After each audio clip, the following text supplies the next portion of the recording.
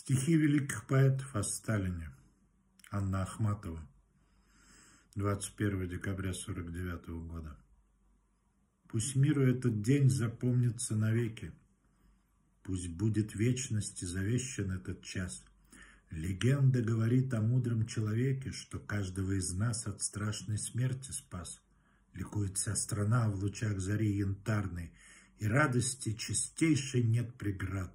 И древний Самарканд, и Мурманск заполярный, и дважды Сталиным спасенный Ленинград, в день новолетия учителя и друга песень светлой благодарности поют.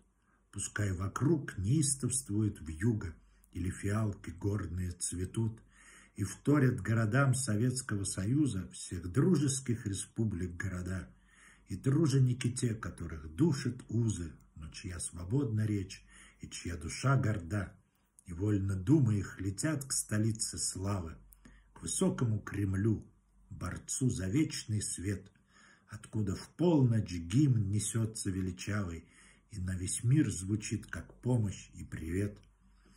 И благодарного народа он слышит голос «Мы пришли» сказать, где Сталин, там свобода, мир и величие земли.